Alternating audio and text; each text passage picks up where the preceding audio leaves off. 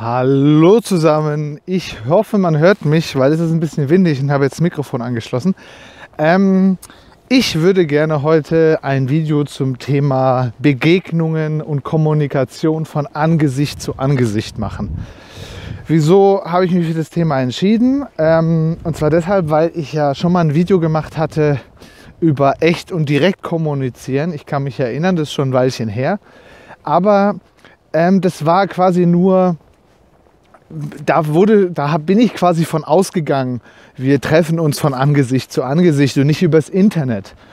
Und ähm, wieso kann man denn im Internet heutzutage so gut miteinander kommunizieren, aber diese Kommunikation führt in den seltensten Fällen zu einem produktiven Diskurs, zu einem Austausch, der so wichtig ist für unsere Gesellschaft. Wieso passiert sowas eigentlich fast immer nur von Angesicht zu Angesicht? Mit ganz wenigen Ausnahmen. Das ist deshalb, weil wir das, was wir nicht kennen, von vornherein kognitiv schon verurteilen oder uns äh, vom Kopf her ein Bild von irgendwelchen Gruppen, Personen, von Stereotypen machen und uns in dieser Kommunikation, die nicht alle Kanäle bietet, also nicht von Angesicht zu Angesicht stattfindet, dann eben nicht mehr öffnen können für die, also komplett öffnen können für die Ansichten und Argumente äh, der Gegenseite. Wenn wir uns hingegen aber äh, von Angesicht zu Angesicht treffen und kommunizieren, dann sind da alle Kanäle mit dabei. Dann schwingt diese Menschlichkeit mit, dann schwingt die Mimik, die Gestik, kleinste Augenbewegungen. Äh, man merkt, dass der andere einfach auch nur ein Mensch ist und öffnet sich automatisch dieser Person mehr. Und dann kommt auch ein produktiver Austausch zustande, der wirklich Verständnis füreinander hervorbringt, der also, also nicht nur auf inhaltlicher Ebene viel produktiver ist, sondern der vor allem ähm, auch das Mitgefühl und die Liebe den anderen Menschen gegenüber steigert. Ein äh, gutes Beispiel ist zum Beispiel äh, mit den Ausländern. Wir haben im Osten sehr viele äh, Landesteile, wo kaum Ausländer leben. Und komischerweise auch gerade Mecklenburgische Seenplatte und viele Bereiche, wo eigentlich der Ausländeranteil sehr, sehr gering ist. Und genau aus diesen Gebieten hört man die, die größten Ängste.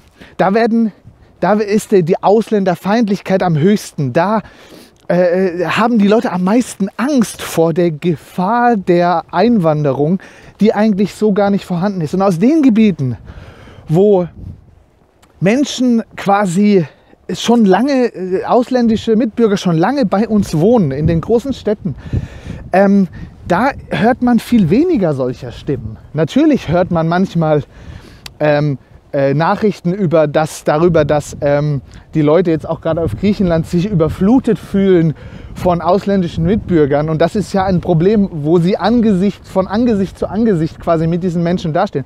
Aber das ist mir ein strukturelles Problem, dass ähm, hat mehr die Politik mit ihren Grenzen und ihrer Verteilung zu verantworten. Aber das ist keine Schuld von diesen Mitbürgern von uns.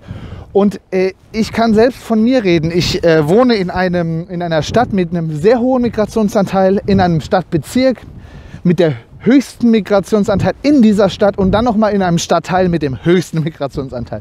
Und ich finde es wunderbar und wunderschön, dass wir so durchmischt leben dürfen und so viele verschiedene Ansichten und Kulturen, Sichtweisen haben. Und ich würde mir niemals wünschen, dass es weniger wird, sondern ich finde das ganz toll, wie das bei uns ist. Und ich habe jeden Tag mit den, diesen Menschen zu tun. Und äh, dieser Austausch, diese direkte Kommunikation baut diese Vorurteile ab. Und das ist so wichtig. Und ich will auch jetzt überleiten auf die aktuelle Situation deswegen. Was passiert momentan? Gerade jetzt, wo der direkte Austausch so wichtig wäre, jetzt ziehen sich alle zurück und jetzt findet der Austausch über Internet statt, über Videokonferenzen, über Telefon, über Text. Das nimmt uns ganz viel und jetzt brauchen wir eigentlich die direkte Kommunikation. Jetzt müssen sich die Politiker hinsetzen und gemeinsam von Angesicht zu Angesicht miteinander diskutieren, emotional diskutieren. Jetzt müssen die Menschen miteinander reden, rausgehen, sich austauschen, Meinungen vertreten, ähm, dass jeder sich äh, weiterbilden kann, eine Meinung bilden kann und dann aus dieser Meinung, aus, dieser kritisch, aus diesem kritischen Diskurs etwas Produktives wird, dass diese Krise tatsächlich, ähm, die wir gerade haben, dass, da, dass es danach weitergeht und wie wir es daraus gelernt haben, wie ich das so oft sage. Und dieses Zurückziehen nimmt uns diese Chance zu einem großen Teil. Und das ist ein zusätzliches Problem tatsächlich. Ähm, unabhängig davon, dass die medizinische äh, äh, Gefahr von ganz, ganz vielen Experten als sehr gering angesehen wird, als genauso groß oder klein wie bei jeder Influenza-Welle jeden Winter. Und es ist schon tragisch genug, dass die Politik diese Entscheidung jetzt getroffen hat auf solchen Grundlagen. Aber, aber jetzt sind wir in dieser Situation. Und jetzt, ist, jetzt sind wir da drin, jetzt können wir nicht mehr zurück. Ich hoffe, dass viele Politiker jetzt ihre Stimme erheben und auch mal in dem Bundestag, vor allem auch die Oppositionsparteien, hier auch kritische Stimmen einbringen, dass langsam ein Umdenken stattfindet. Aber das muss von Angesicht zu Angesicht passieren und die Bevölkerung muss miteinander endlich reden und kommunizieren und nicht nur übers Internet, wo alles gleich als Alternativ oder Massenmedien äh, bezeichnet wird und entweder man ist auf der einen oder auf der anderen Seite. So kommen wir tatsächlich nicht weiter. Und auch für die Zukunft, um wieder zurück auf den Anfang von meinem Video zu kommen. Es ist einfach wichtig, dass wenn wir Vorteile äh, Menschen gegenüber haben, wir sind sehr verkopft in unserer Gesellschaft. Wir bilden uns sehr schnell, weil wir viel nachdenken, äh, sehr schnell ein Bild von einer Personengruppe aufgrund von Informationen, die an uns herangetragen werden durch die Medien. Das heißt, es gibt Menschen, die haben noch nie wirklich mit, mit äh, Mitbürgern außerhalb ihrer Nachbarschaft, die sie schon ewig lang kennen, zusammengelebt und die haben einen tiefen Hass und engagieren sich ganz stark gegen irgendwas, was sie nicht kennen, was sie nur aus den Medien hören. Und das ist nicht nur gefährlich, es ist kurzsichtig und ähm, bringt uns in unserer Gesellschaft und auch die Menschen an sich in ihrer Persönlichkeit überhaupt nicht weiter, sondern im Gegenteil. Und ich wünsche mir, dass, äh, dass viel mehr Leute rausgehen und äh, den Kontakt, die Konfrontation von mir aus auch mit diesen Menschen suchen und äh, nicht kurzsichtig Stereotypen verkopft sich eine Meinung bilden. Ach so, und noch ein kleiner Schnitt, weil mir noch was eingefallen ist. Und zwar, was passiert denn, wenn wir uns nicht mehr begegnen, jetzt in der Situation, mit den älteren Menschen und den Kindern? Was ist, wenn die Eltern sich nicht mehr begegnen, Meinungen austauschen, wenn sie nur noch daheim sitzen, sich von den Medien berieseln lassen, immer mehr Panik aufsteigt. Die Kinder kriegen das voll mit.